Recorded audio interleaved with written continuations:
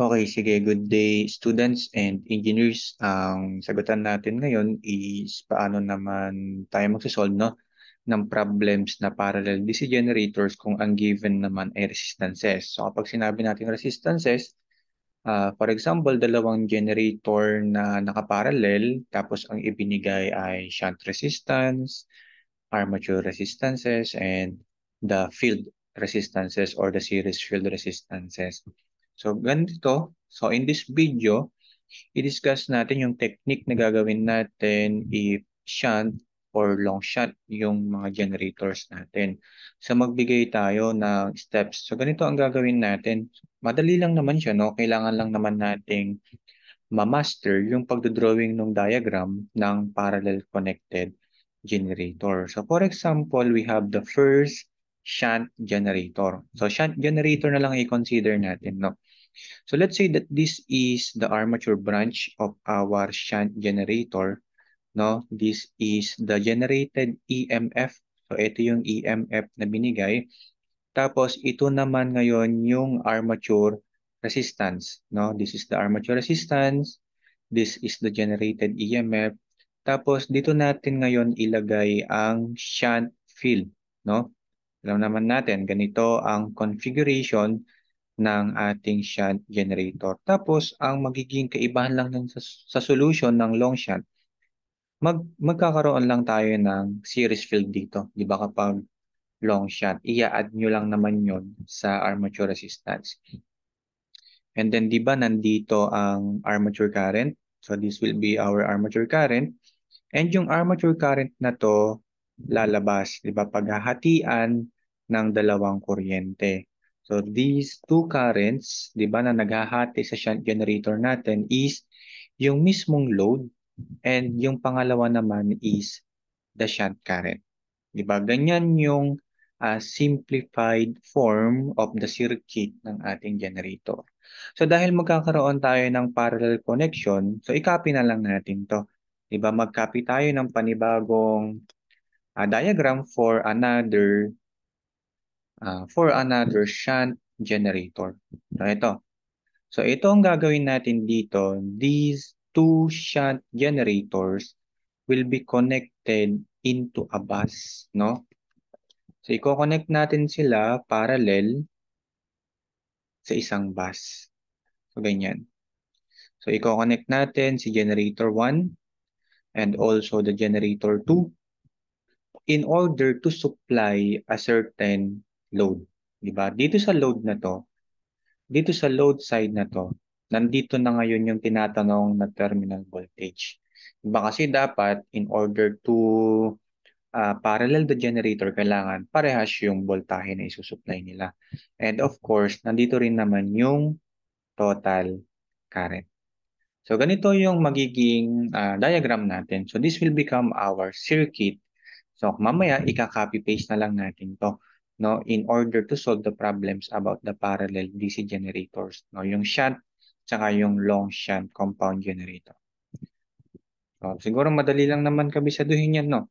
Uh, ibig sabihin no yung load ni number 1 di ba yung kuryenteng sinusupply ni generator 1 at saka yung kuryenteng sinusupply ni generator 2 so palitan natin ngayon no So itong dalawang kuryente na to, let's say this will be the current number 1 na sinusupply ni generator 1 and the current number 2 na sinusupply ni generator 2, magto-total yan sa total current na sinusupply sa load.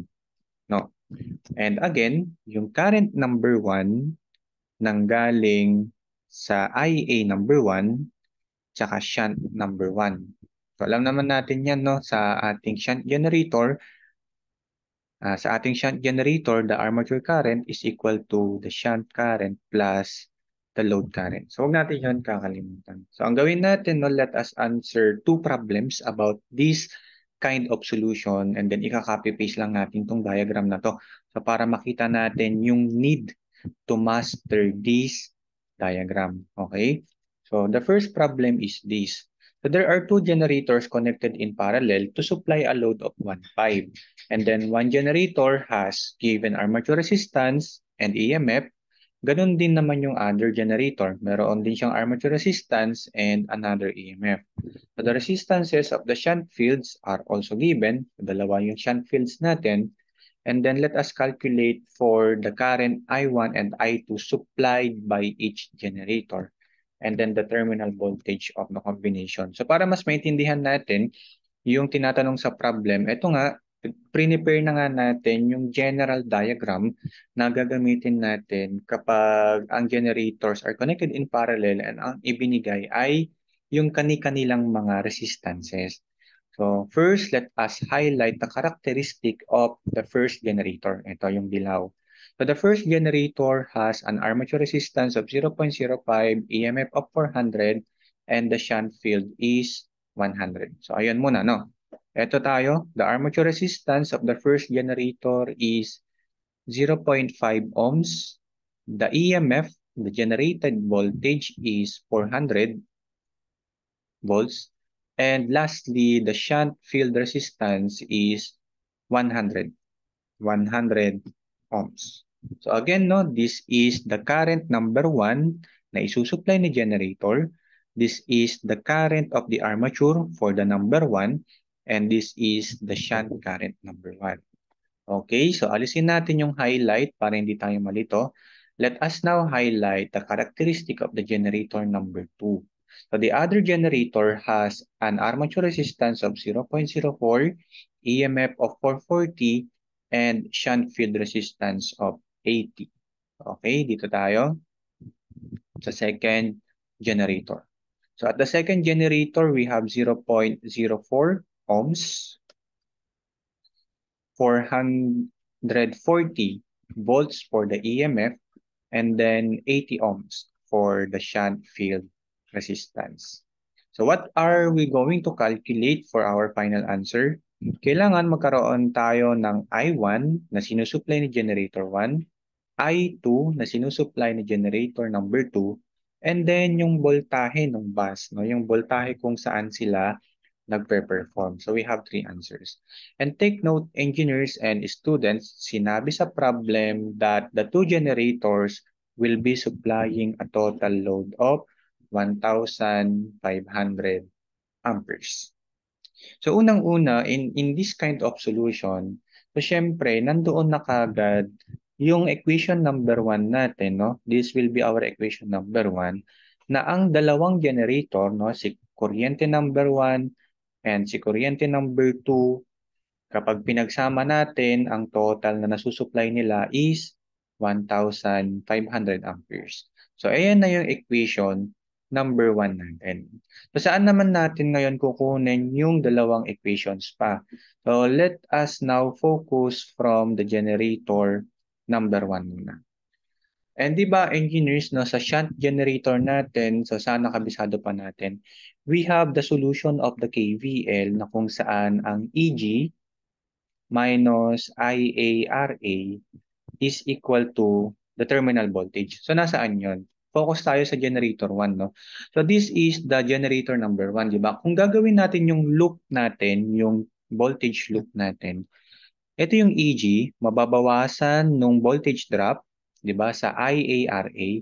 And then dito tayo sa outer loop papunta sa terminal voltage. So, ayan yung solution natin. No. Kung isa-substitute natin 'yan, so ganito ang magiging solution natin. We have the EG for the generator number 1, 400, minus hindi natin alam ang armature current ni generator number 1, no? Armature current ah. And then we have the 0.5 armature resistance. This is equal to the terminal voltage. Next, di ba siguro sanay tayo no, nung mga naunang topics natin sa generator. Once na mayroong KVL, mas maganda rin siguro kung mayroon tayong KCL. Natatandaan pa ba natin that the armature current is equal to the sum of the load current plus the shunt current. Di ba? So if we will be solving for the armature current number 1, ano yung load current natin dito sa generator number 1? Yung load current natin dyan is yung isusupply mismo ni generator na I1. And the I shunt number 2 natin is ito. Uh, I shunt number 1 natin is ayan, di ba? And sanay tayo na ang I shunt natin sa shunt generator is V load over R shunt. So ano ba yung V load natin? Si terminal. V terminal over R shunt. Di ba ganyan naman palagi, di ba sa shunt generator natin tsaka sa long shunt generator. Yung I shunt natin, sino-shortcut natin as the terminal voltage over R shunt. So palitan natin ngayon. Papalitan natin ngayon ito. Di ba? 400 minus yung IA1 natin will be changed by this value. Diba? Papalitan natin ngayon si I armature number 1. So this will become I1 plus VT over 100 and this quantity is multiplied to 0.5.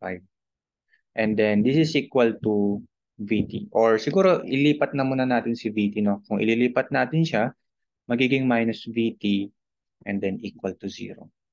So let us distribute 400 i-distribute natin si negative sign tsaka si 0.5. So this will be negative 0.5 I1 and then another negative 0.5 over 100 VT minus VT is equal to 0. And then again, meron tayong dalawang VT. Simplify pa natin na we have two VTs here, negative 0.5 tsaka negative 1. So, tingnan natin yung ano nila, uh, simplified form. So, negative 0.5 over 100 and then minus 1. So, this will be our VT, final quantity for the VT. Negative 1.005. So, this will be 400 minus 0.5 I1 minus 1.005 VT is equal to 0.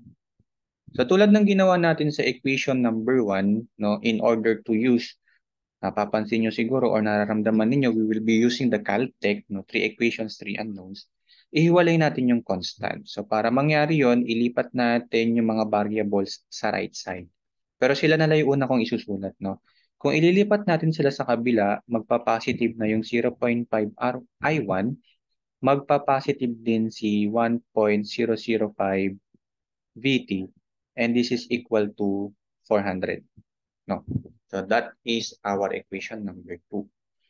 And then for our third equation, syempre, doon pa tayo sa generator na hindi natin nagagamit. From the generator number 2, let us perform the KVL. So ito na lang yung susundan ninyo ah. Hindi na natin susulat, sundan na lang natin yung EG minus IARA is equal to VT. So this will be the loop of our generator number 2.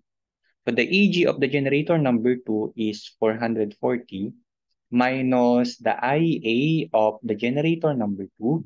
Ano yung armature resistance sa generator 2? So 0.04. And this is equal to the same VT. Bakit parehas yung VT?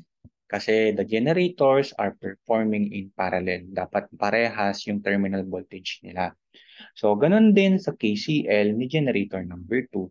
If we will be solving for the IA number 2, kailangan mapagsama natin yung current na isusupply, di ba? That is the load current ni number 2 at saka yung current na mapupunta sa shunt ni number 2.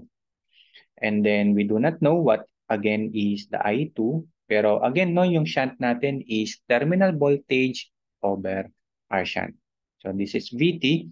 And what is the R shunt at the generator 2? 80. 80 ohms. No. So substitute again, we have 440. Ito, substitute na natin siya dito. Yung IA2 natin is the combination of I2 plus VT over 80. And then ilipat na din natin yung VT no, sa kaliwa muna. So minus VT, that is equal to 0. Ah, meron pa tayong kulang. So ayun na, maingat tayo sa part na yon. We have IARA. So, kailangan meron tayong RA dito. So, minus VT is equal to 0. So, distribute again the negative sign and 0.04.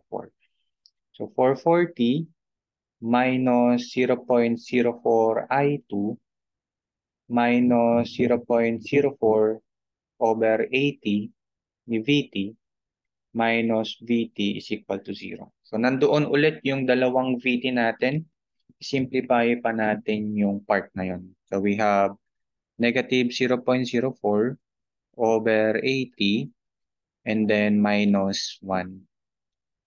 So negative 1.0005. So 440 minus 0.04 I2 minus 1.305 VT is equal to 0. Ganun din ang gawin natin for our third equation. Ihiwalay natin si constant term. So gawin natin, ilipat natin yung mga variable sa kanan. Pero sila yung una kong isusulat, no? So kung ililipat si I2 tsaka si VT, magpa-positive silang dalawa. So 0.04 I2 plus 1.0005 VT equals yung naiwan na 440. No? So that will be our ano na. So ayan na yung magiging uh, tatlong equations natin na gagamitin natin sa calculator. So lista lang natin sila ulit. so in in our new page. Nasaan na?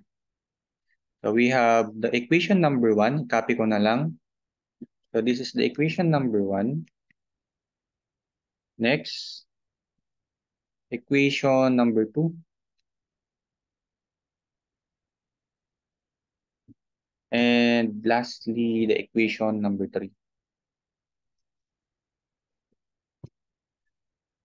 So using our calculator, so syempre dapat ayusin natin yan. What is the coefficient of the I1?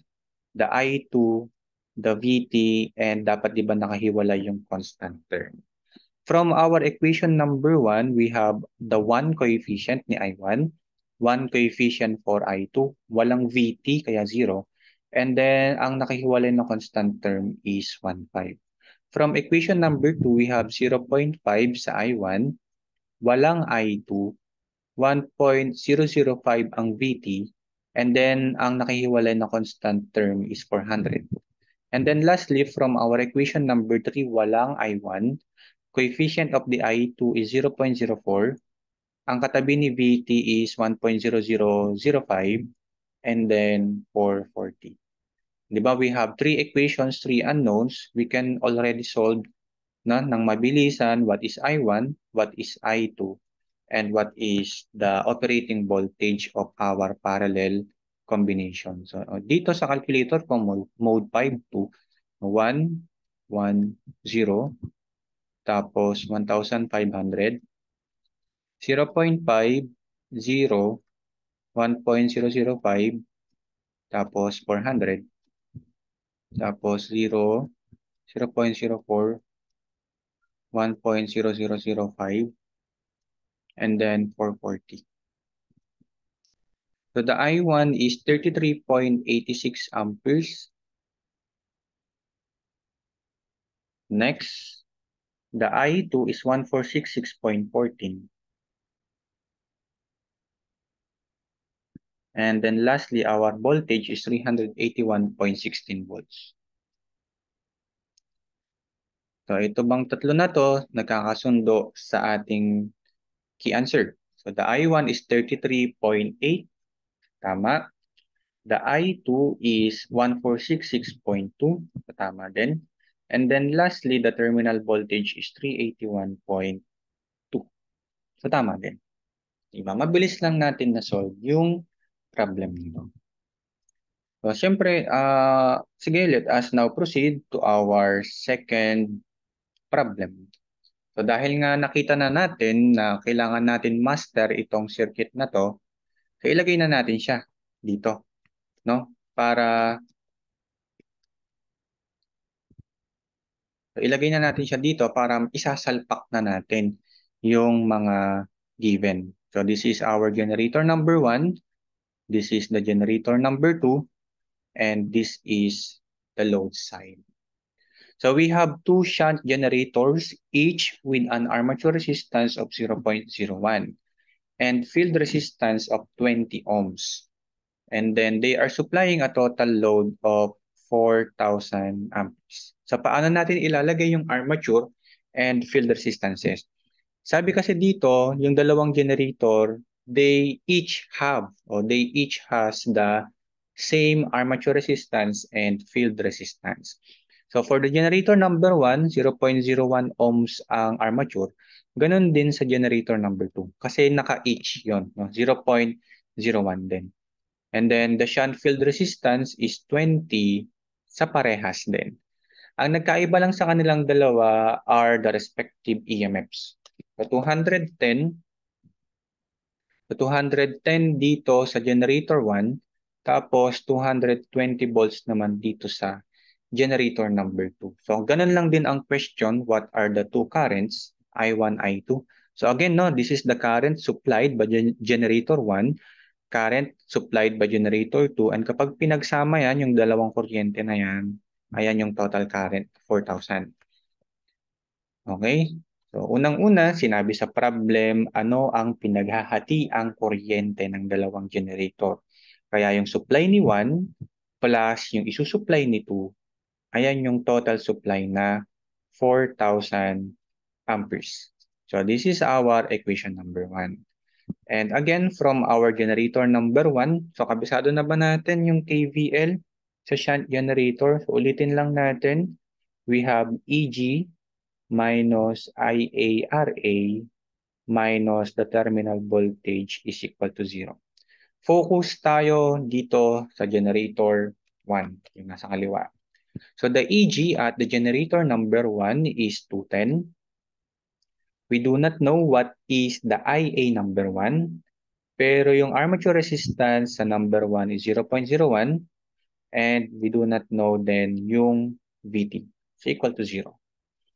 And then kung babalikan natin ulit ang KCL, we have the IA1 and yung armature natin is the combination of the load current, which is the I1, and the shunt current, kay number 1. Kaya I shunt 1. So this will be I1 plus, sanay na ba tayo, that the I shunt is terminal voltage over the shunt resistance ni generator 1, which is 20. Kaya kung isa-substitute na natin to ulit, no, this will be 210 minus yung pinaka IA1 natin will become this quantity, no? I1 plus VT over 20 multiplied to RA 0.01 minus VT is equal to 0. Distributing the negative sign and the 0.01, so we will be having 210 minus 0.01 I1 minus 0.01 over 20 VT minus VT is equal to 0. So, nandun ulit yung dalawang VT, isimplify natin siya sa calculator so para maging single term siya. So, the first term is negative 0.01 over 20 minus 1. So, negative 1.0005. So, 210 minus 0.01 I1 minus 1.305 VT is equal to 0. And then, ganun ulit ang gawin natin no? so that in our equation number 2, ilipat natin tong I1 and VT sa kanan para maging positive sila parehas. No? Pag nilipat natin yan, we have positive 0.01 I1, positive 1.0005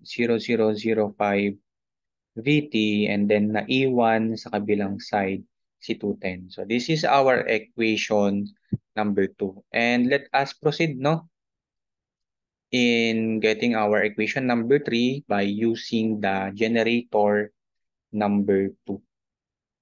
So from our generator number 2, we have the KVL. So ito yung susundan natin, EG minus IARA minus VT. So the EG, Focus tayo sa kanan because we are now considering the uh, generator number 2. So the EG of the generator number 2 is 220 minus IA number 2. What is the resistance of the generator number 2 sa armature? So 0.01 minus VT is equal to 0. And by KCL, ang IA number 2 natin is the sum of the load current ni generator, that is I2, plus the shunt current ni generator number 2. And again, I2 plus yung shunt natin is terminal over shunt resistance. So, ang shunt resistance ni generator 2 still 20, no? Hindi naman palaging parehas yun. So, dito lang sa problem na to. So, magkaroon na tayo ng substitution. So, this will be 220 minus the quantity. So, para sa IA2, ito na yung ipapalit natin, no? Yung quantity. So, I2 plus VT over 20 multiplied to the armature resistance minus Vt is equal to 0. Again, distributing the negative sign and the 0.01 resistance. So this will be 220 minus 0.01 I2 minus 0.01 over 20 Vt minus Vt is equal to 0. So we have the same quantity here, no? 0.01 over 20 minus 1. So shortcutin na natin that kasi ayan is 1.0005. So this will be 220 minus 0.01 I2. So dahil parehas yun, kopyahin na lang natin yung minus 1.0005 Vt is equal to 0. And for our equation number 3, ilipat ulit natin yung dalawa para mag-positive. No? Magiging positive ngayon si 0.01 I2 Ganun din si 1.0005 VT and then maiiwan si 220. So mabilis lang natin itong isosolve kasi meron na tayong 3 equations. So we need to, we are going to just list down the table. no So again, ang table natin, ano ang coefficient ni I1, ano ang coefficient ni I2, ano ang coefficient ni terminal voltage and ano ang nakahiwalay na constant term. So, umpisahan natin sa equation number 1. So, sa equation number 1 natin, ang coefficient ni I1 is 1. Coefficient ni I2 is 1. Wala tayong makikitang VT kaya 0. And the constant term is 4,000. Dito sa equation number 2 natin, dito na tayo, equation number 2, ang coefficient ni I1 is 0.01. Wala tayong makikitang I2 kaya 0. And the coefficient of the VT is 1.0005. Ang constant term is 210. Lastly, from our equation number 3, wala tayong makikitang I1. 0.01 ang coefficient ni I2. 1.0005 pa din ang VT. And then the constant term is 220. So in this case, no, by uh, sunod-sunod, makikita natin what is the value of the I1, the I2, and the terminal voltage. So lista natin, what will be the I1, what will be the I2, and ano ang ating terminal voltage. So sa ating function ng calculator na 3 equations, 3 unknowns. So dito sa Casio, mode 5, 2. So 1, 1, 0, 4,000. 0.01, 0, 1.0005, 210, and then 0, 0.01, 1.0005, and then 220. So the current one is 1.5, the current 2 is 2.5. So 1.5 The current number 2 is 25. And lastly, the terminal voltage is 194.9.